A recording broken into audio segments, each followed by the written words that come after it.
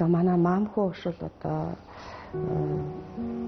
ер нь 1930 онд Баянгор аймгийн Богц сумд төрсэн хүн байдаг. Тэгээд одоо цэл залууханд Улаанбаатар хотод орж ирж ээжигээ одоо асарч тэжээхийн тулд төмрийн заавдд бол одоо хүнд хүчээр ажил хийж байсан гэж ярьдаг. 50 оны 11-р сард Дөрөний улс төрийн төвчөөний тогтоол гараад хүүхдийн төв чадрыг байгуулсангаа. 2 Хоёрдугаар сард багтаач одоо энэ э, дөрвжөр дүүн чадвар баа штэ. Тэр чин дөнгөж шин чадвар ашиглалтанд орж ирсэн. Энэ чадрын байранд нээлтийн нийцэх байв гэж.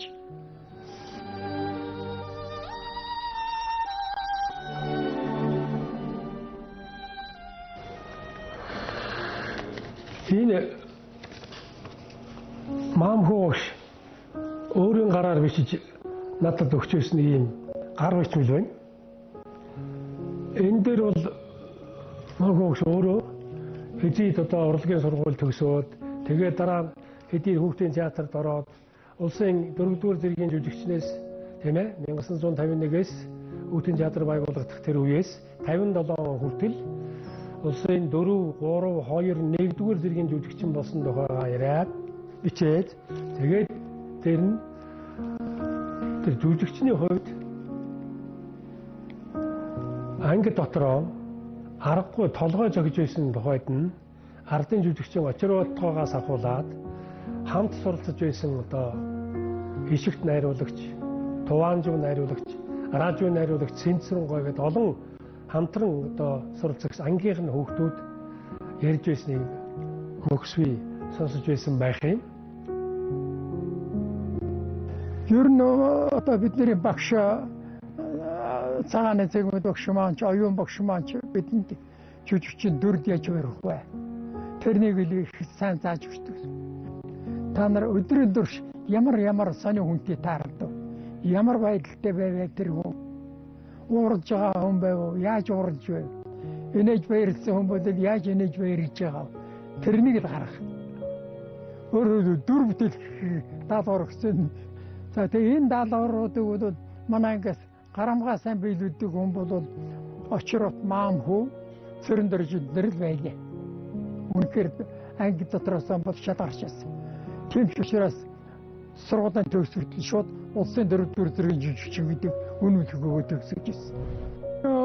Манай багш нараас бид нар бас бахархаж ярмаар усуд байдаг л да. Тухайлх юм бол оюун багш гэдэг хүн бол Монголд одоо хүүхдийн театр заавал байх хэрэгтэй. Тэрний төлөө хөөцөлцөөр байгаад манай ангиар хүүхдийн театрын хөшгийг нийлүүлсэн тийм буйнтай хүн. За Банган гэдэг багш байлаа. Банган багш бол 51 онд одоо зөвлөлт болоод театрын урлагийн дээд сургууль төгсөөд ирсэн. Багш нар маань бидэнд нэг л гол юм хэлээс. Та нар хүний сэтгэл гэрэл асааж өгчээ. Горкийн Данко гэдгийг мэднэс тэр зүрхөө суудаад зүрхээр тэр балар ойдон дээр хүмүүсүүдэд зам заашид. Та нар бол хүмүүсүүдэд амьдралыг зөв ухаарах, зөв хүмүүжлэлтэй болгоход туслах тийм л улсууд. Тэрнийг дандаа бодож өгч. За тэгэд хийж байгаа бүтээлүүд маш ер нь тэм чиглэлийн юм барьж авдаг бид нар киночсон жүжигч байсан. Одоо 1950 онд хүүхд залуучуудын театрт шалгуулад дагалдан жүжигчнэр орсон байдаг. Тэгээд туслах найруулагч дагалдан жүжигчин хийж байгаад улмаар одоо Москвагийн Луначарскийн одоо нэрмжит Москвагийн театр урлагийн дэд сургууль сураад ирээд бол хүүхд залуучуудын театрт найруулагч хийсэн. Аа мөн тэрнийхээ дараагаар Ховд аймагт, Дорнот аймагт олон арга драмын жүжиг найруулсан ийм хүн байдаг.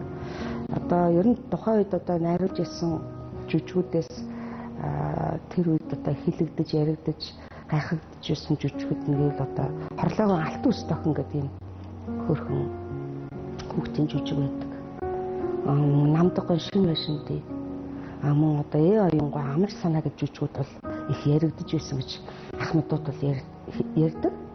За тэр дундаа бол одоо шараа голын гурван хаан гэд намдаггүй одоо хөгжим драмыг найруулж одоо найрын ширээний ууц гэдэг манайхан одоо Дорцонбоо өвшийг кино хийснээр нь мөн одоо дарааны улсын актив театрт олон жил тоглогдсоноор нь манай үзэгчид бол сайн мэддэг.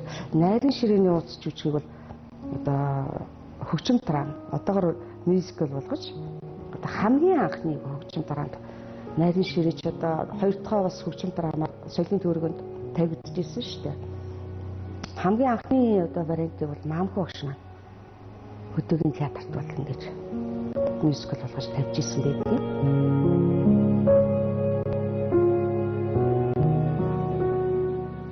Тэгээд яг хөө ер нь бид нарыг жүжигчний уран чадварыг мэддэг болсон. Жүжигчтэй ажиллагаа ажиллагааг бол сайн мэднэ. Тийм учраас канонд хоолоо явуулдаг учраас өдөр жүжигчин мэддэг учраас жүжигчтэй ажиллаж чадна бид нэр. Эхлээд чи зүг бай.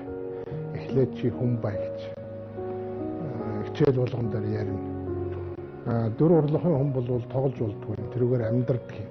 Амьдрахтаа нөгөө бүтээж байгаа дүрдэн эзэн болохын тулд хэрвээ би энэ хүн байвал хэрвээ би ийм нөхцөлд байвал гээд тэгээд өнгөцсөн нөхцөл гээд ингээд ярих юм бол тааж дэлгэцийн урлан бүтээх хүний онлын одоо үнц нь болоо явчих. Тэгэхээр би ягаад энийг давчгаа хэлж байна гэвэл маамхуу гш бол надад болоод надаас өмнөх үеийн бүх шав нартаа миний дараах үеийн бүх шав нартаа энэ чиг баримжааг нотод оюун сэтгэлд нь тариханд нь шингээж өгснөөрөө одоо том том уран бүтээлчд урган гарчаа гэж.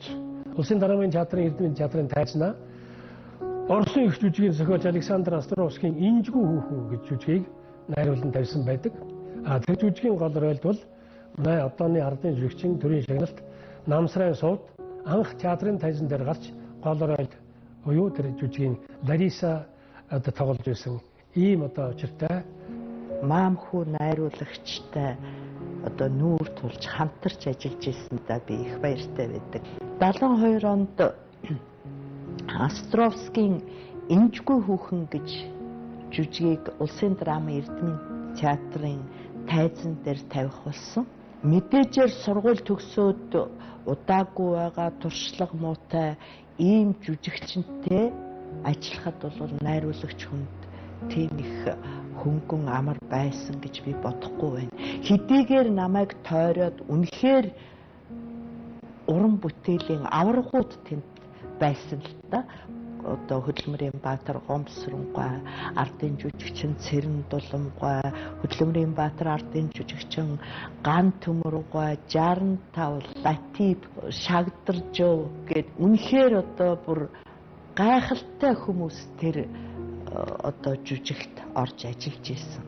Миний хувьд үнэхээр чирэгдэж байсан найруулагч хүнд хэцүү байсан байхаа гэж би боддгийг. Гэхдээ маам хүн найруулагч хизээч хүний урмыг хуглах тийм үг хэлээр надтай ярьж байгаагүй. Үнэхээр надад ажиллах ийм боломжийг зайг тэр хүн тавьж өгч ирсэн. Тийм учраас их одоо миний урмыг хуглаагүй цаашдаа ингээд ажиллах итгэл найдварыг надад өгчээ гэж би маамхүү найруулагчтай баярлаж байдаг юм.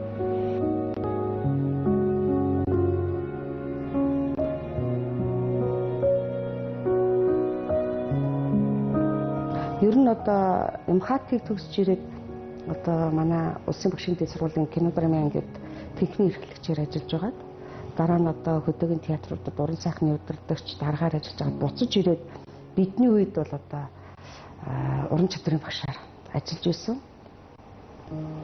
Тэгээд одоо миний олон сайхан уран чадрын багш нараас миний одоо амин голын хайртай ийм сайхан багш хүн байгаа. Ер нь бол маш их зөөлөн хүн. Хүнд нэг хатуу үг хэлдэг. Ер нь одоо зарим багш нар маань ингээл зүрхэнд дортол хатуу чангуу гэлдүүлдэ маам агш бол хизээч хүнийг тэгж чанга хатуугаар одоо хэлдэг. Ийм хүн байгаа. Тэгээд одоо жинхэнэ багш хүнд байх ёстой маш олон сайхан чанар миний багшд шингэсэн байдаг.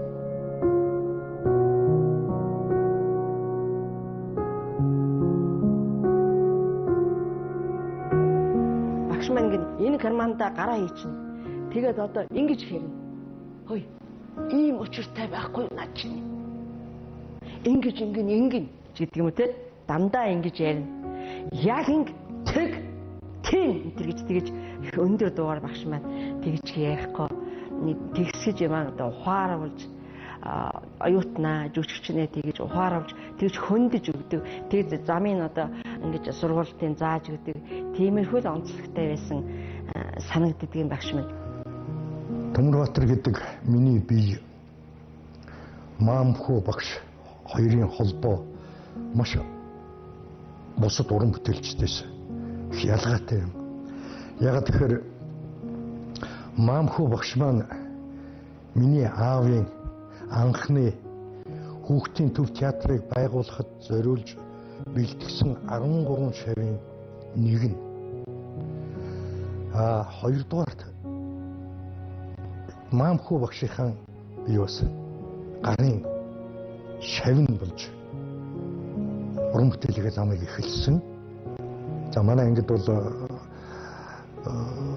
ухаандаа ажиллаж ирснээс бол байгалмаа одоо улсын гавьяач жүжигчин цэгмэд ардын жүжигчин Сэрэндав бах улсын гавьяач жүжигчин Батцаяа улсын гавьяач жүжигчин Үржин Бадам Карма гэдэг ингээ бүгдээрээ шавнар нь дандаа гавьяатууд байгаа.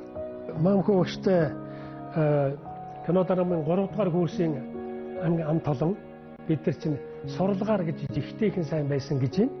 Тэгээд 73 оны улсын багшийн дэд сургуулийн хүндэт самбарт манай ангийнхны ангиар ахуусын зураг одоо ингээ байж ирсэн.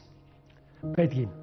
Энэ яг хөвгтэн зэрэг манай ангийнхан одоо мэрэгжлийн ур чадварын хичээлүүд болоод ерөнхий одоо тийм ээ нийгмийн талын нэг улс төрийн эдийн засгийн хичээлүүдэд сурлагын онц сайнны эзлэх хувь 85% хүртэл одоо сургаж чадсан анги гэж одоо энэ ангиараа ингээд ингээд зураг авахсан.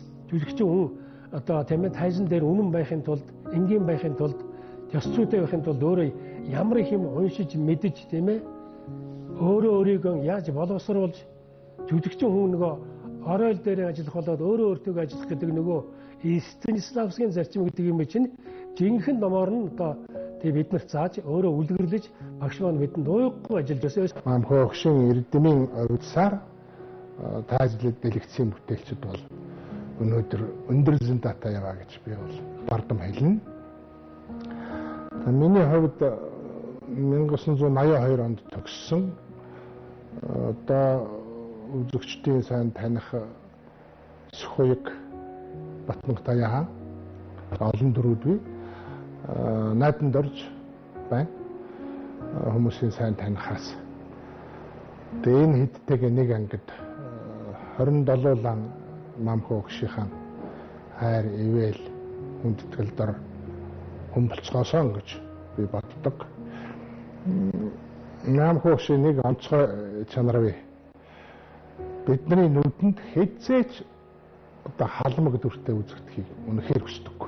Тэр нь юу гэвэл бид нарт бол маш том ёс зүй болж үлдсэн. Тийм учраас багшийн дэргэд тийм альбом байх, тийм халмаг байх бол харш юмаа гэж би боддог ийм юм. Маамхүү багшийнхаа тухай ярих одоо түүх ихтэй хүний нэг бол би юм байна. Яагаад гэвэл Улсын багшийн дээд сургуулийн кино драмын ангид 4 жил шавн байсан. Дараа нь одоо баг 30 шахан жил хамт одоо оюутан залуучуудыг сургахыг хөлсөд зүтгэж яла. Ерөөсөө төгсөөд багшаар үлдээл тэнхимд ороход тэр цагаас хойш одоо бурхны оронд очин устаа байгалмаа багшаа гэж хүндэтгэж ирсэн. Яагтвэл би бол шавь нахгүй юу. Намайг бол тэгж хэлэхгүй байж болно шүү дээ. Байгалмаа одоо чи тэг байгалмаа юу. Тэгж хүнтэй хүн ёсоор энэ тэнцүү харьсан гэдэг бол маш цөөхөн хүнд байдаг чанар л да.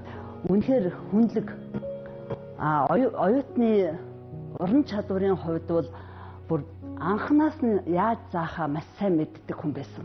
Зарим багш нар бол 3 4 дэх хүүсэж жүжиг жүжигийн одоо хэсэг рүү орохоор их сайн найруулад оюутнуудыг ажиллуулж чаддаг бол багш бүр хитүүдээс нь эхлээд яаж ажиллах вэ гэдээ сайн мэддэг хүн байсан. Ер нь бол багшаас би бас жоохон эмээдэг байсан. Яагаад гэвэл бас их хатуу хүн байсан. Тэгээ энэ нь бол намайг бол хурцлж өгсөн гэж бодож байгаа. Чухам сайн хүн сайн уран бүтээлч байх хэрэгтэй юм шүү.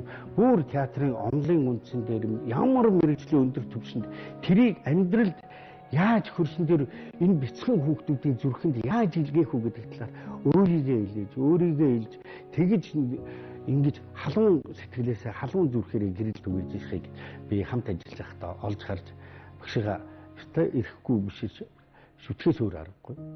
Над ямар тэр гигэн санагдсан гэж одоохондоо айтайхан нарийн арга ухаан олж чадах юм бол энэ хэргийг зогсоож болно шүү дээ. Хождоогүй байна.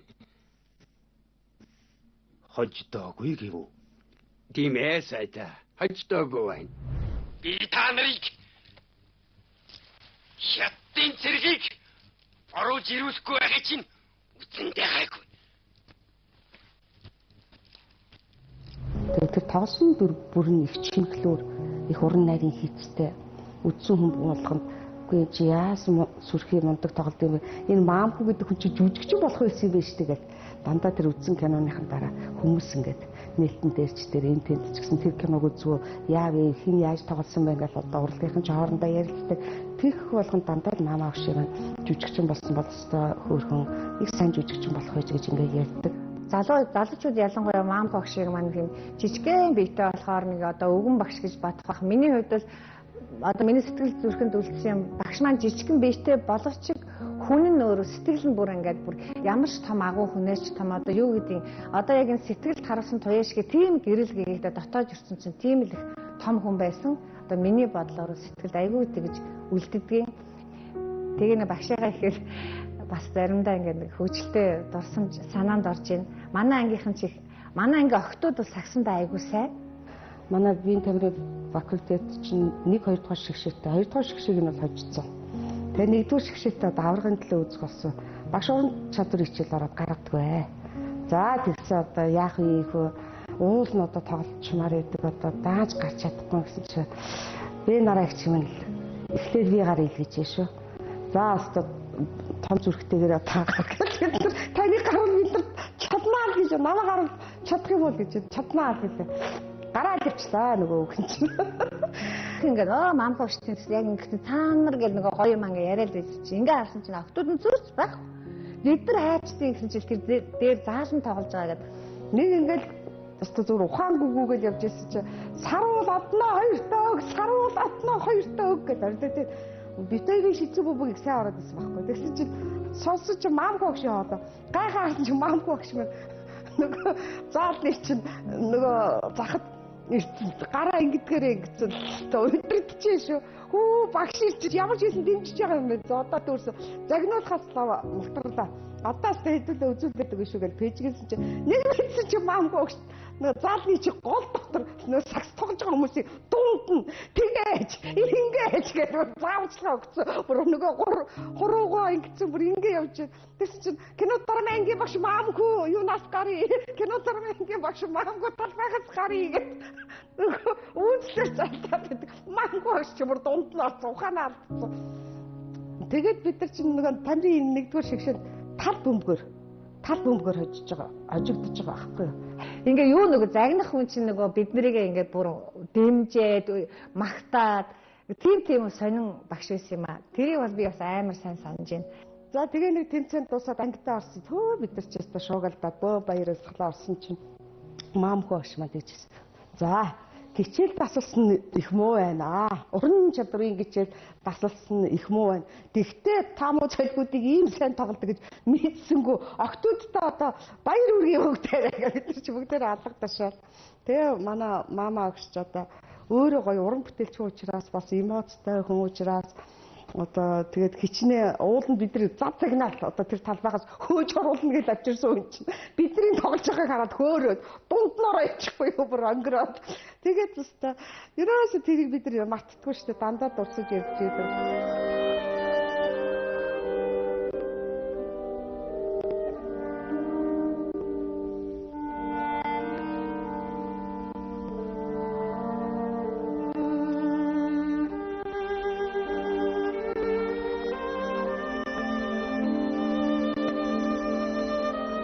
эргээд бодоход бол олон жилийн өрчтэй Бид нэр шийд 20 хэдхэн наснда шийд Тэгэл чи одоо 90 гарцсан хүн гэдэг чинь тэрнээс ч хойш 70 жил өнгөрсөн болохоор шин юм чи их мартагддаг юм байна.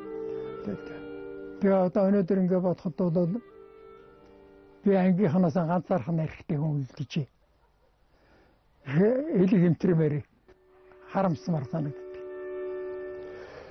Багш маань энэ олон шавнар нь дандаа ардын гавьяад жүжигчд улстай нэртэй төртэй ажиллаж байгаа ийм уран бүтээлчд байгаад байхад миний багш гавья шагналгүй л байсан. Миний мамхуу багш 80 насыг давтлаа төр засагтаа үнсүүлэх бүтээлүүдийг хийсэн олон шагнар төрүүлсэн мөртлөө нэг ч удаа тэр алдар цолын төлөө хөөцөлдөж тэрнийг хүсэж тэрний төлөө ажиллаж байгаагүй багш маань хөөрхий нөгөө даруун дэндүүл дороолно гэж нэг ардын үгээд шүү дээ. Тэ сүлд алдар цол орсон юм шүү улсын. Ивэдэ. Тэгээд одоо тэрийг аваад нэг удаагүй дээ. Хэдхэн сар болоод тэгээд бурхны орондоо явсан юм шүү дээ. Тэр шагнал мангалын эртхэн өгсөн бол багш маань бас олон жил сэтгэл нь сайхан цэнгэл идэж явахсан байхтай гэж одоо өнгөрсөн хойноос бодож л явд юм да.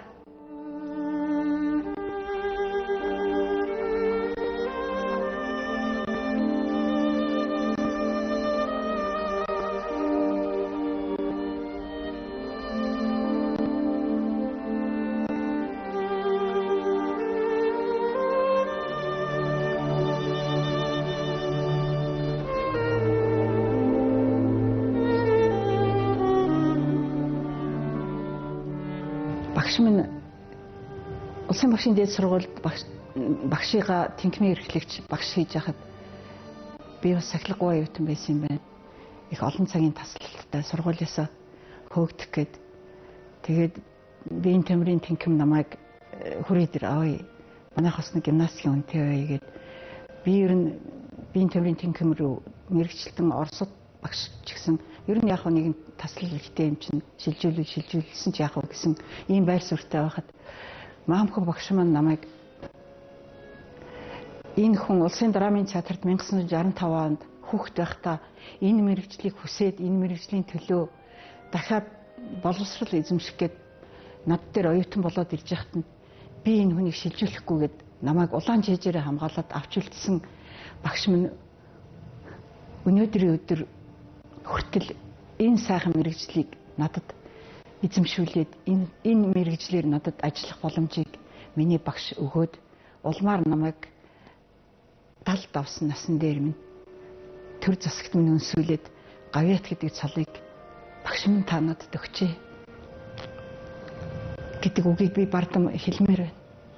Одоо жинхэнэ багш хүнд байх ёстой маш олон сайхан чанар миний багшд шингэсэн байдаг. Нэгдүгээр курст байхдаа бид нар ч маамхаа шиг бас зөөлөн болохоор нь бас жоох эвлэг болчих санаатай. Тэгээд нөгөө этүүдүүдэд үзүүлээл нөгөө тэр өдөр хамгийн муу байсан хүүхдийг л одоо байж байгаад маамхаа багш маань өдөржин нугсан. За тэр хооронд нь бид нар чинь завсарлахын завсарлаад ганцанд орох нь ороод гадаа гарах нь гараад гүйтгэл ороод ирэхээр нөгөө хүүхдтэй л ноцолтоод этүүдийн сайжруулах гал нухаад байдаг.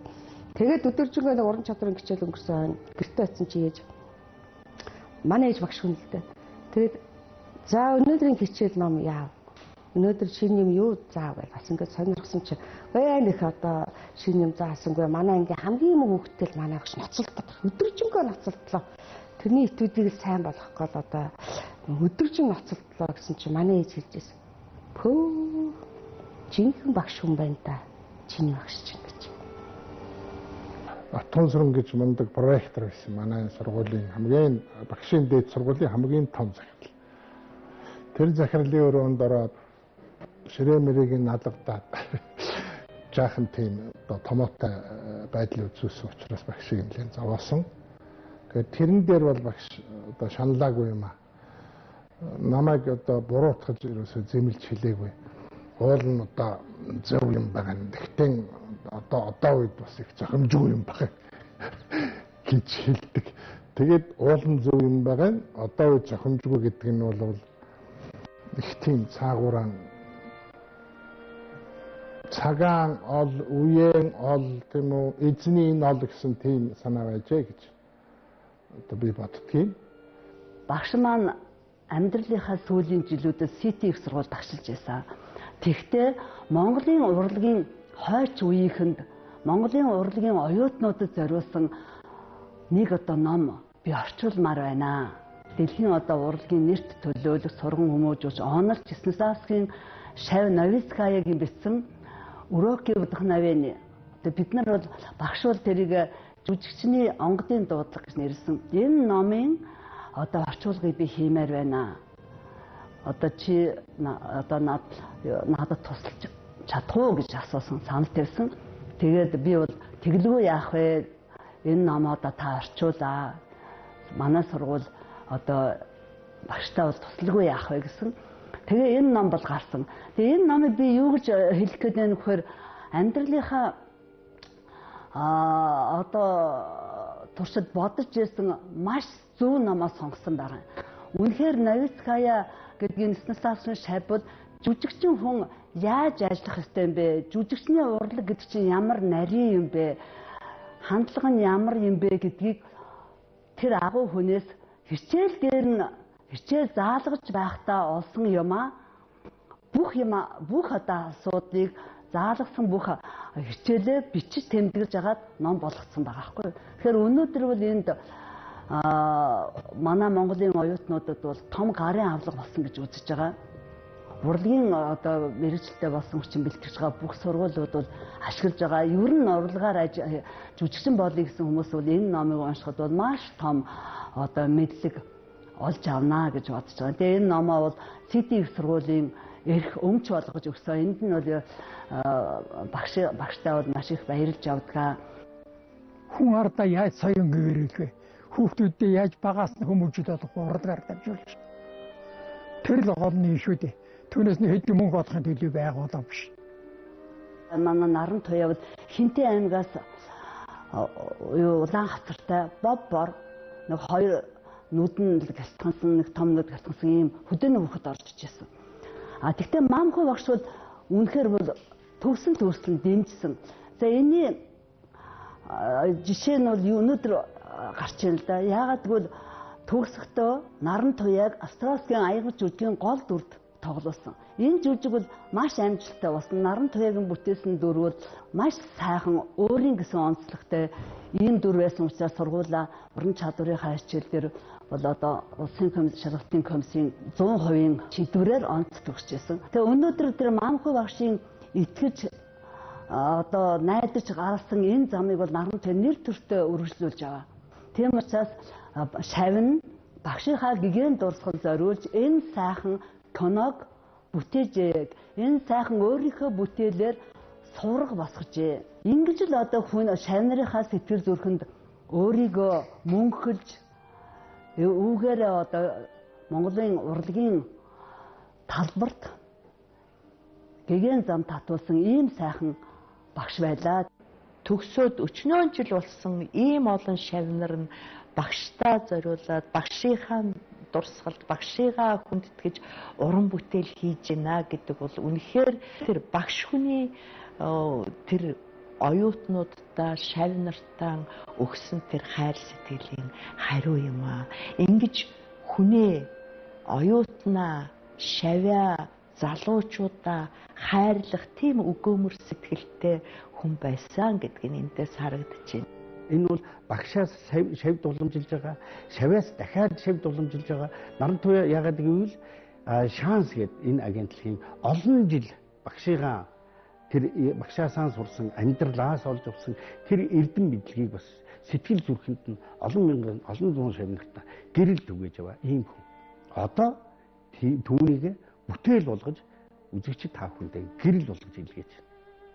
Одоо би манай ингээд хоёр нараа юусэн. Б нараа, С нараа гэдэг. Бид нар Б нараа гэдэг. Ингээд наран туягч маань хүндэт багш маам хүүтэй зориулаад энэ сайхан уран бүтээлийг өргөж бүтээж байгаад чин сэтгэлээсээ маш их талархаж байна.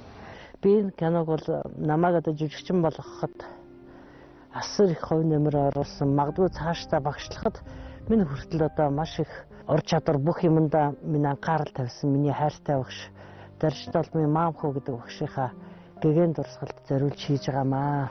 35 жилийн өмнө би сургуулаа төгссөн. Тэрний тэр үед одоо энэ жүжигийнхаа голдур тоглож байла. Төгснөхийн дараа ч гэсэн ягаад ч юм тэр үед надад ийм нэг кино шиг санагддаг байсан. Дүр надад одоо дүр маань их таалагдчихсэн. Тэр үеэс эхсүүлэл одоо киноны тухай бодол бол орж ирсэн юм аа. Тэгээд маш их олон жилийн дараа тэр үетэй би дараа нь одоо найруулагчийн ангид хичээл зааж явахдаа шавнараасаа мундаг бичдэг ганцхан шавнараараа хүртэл одоо энэ зохиолынхаа тухай ярьж өгч бичүүлдэг байлаа. Тэгэл ер нь бол он цагийн ирэхээр цаг хугацаанд болсон ч юм уу гинтхэн одоо маш сонирн байдлаар миний хүү одоо баян зөвтгээд бас найруулагчийн анги төгссөн зохиол хөрхөн бичдэг хүүхдтэй нийлээд маш бага хугацаанд сонирхолтой зохиол бичснээр миний одоо энэ уран бүтээл хийх энэ боломж нээгдсэн юм аа. Тэгээ энэ цаг үед бол биднээс амжаад ингээ сайхан уран бүтээлээ хийж байгаадаа их баярлж байгаа. Магадгүй багш минь дээрээс шарж иж магадгүй гэж би бас дотроо бодож байгаа. Дээр нь бас их сайхан зүрх сэтгэл нийлсэн сайхан шавнартайгаа хамтарч ажиллаж байгаа сайхан залуучуудтайгаа ажиллаж байгаа болохоор бүх юм сайхан байна.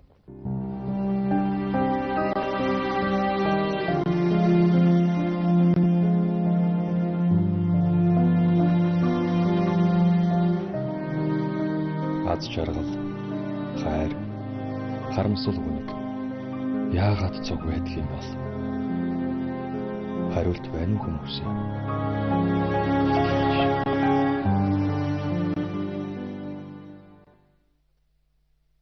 За би та нарт их баярлж байна. Ягаад баярлж байгаа хүүхдүүд зэрэг өнөө миний дотны нөхөр мам хуугийн тухай буран бүтээл хийж нь би их баярлж байна. Мам хууган энэ Монголын театрын урлагт үлдээсэн мөр бол асар гүн гүнзгий их урт удаан хугацааны хизээч үл мартагдах ийм одоо зам мөртэй уран бүтээлч багш найруулагч жүжигчин хүн юм аа. Цагаан сар болгоноор жил болгон би бас багшинд очиж багштаа бас хадаг барь золгодог байсан. Ийм л одоо багшийн барилгатай эртний сайхан өрөөлөөр энэ сайхан Монголын театр, кино, урлагийн салбарт өнгөтэй өдтэй яваа олон сайхан шавнарын нэг юм аа. Багшийн одоо эрдэм дор мөргөө. Монголын урлагийн талбарт гэгэн зам татуулсан ийм сайхан багш байлаа. Тэгээ багштаа Тэнгэрийн орноос биднийг харж байгаа танд бол бид баярлж явдаг шүү. Багшийнхаа зааж өгсөн тэр сайхан сургаалыг бид нэр төртөө үргэлжлүүлэх болно. Багшигаа бол үргэлж дурсаж явах болно. Хайртай шүү. Багшийн эцсийн зам өдөртний хүртэл би байсан. Багштаа бол би маш их хайртай. Оюун санаагийн минь тэлж улам хязгааргүй орон зайд явах тийм одоо үнцнийг надад үлдээсэн юм аа миний багш. Аа багш бол өөртөө үнцэнтэй амьдрсан шиг амьдрсан учраас олон шав нартаа үнцнийг энэ чиний үнцэн шүү гэж үлдээсэн гэдэгт би үнзээ итгэж авдаг юм байна.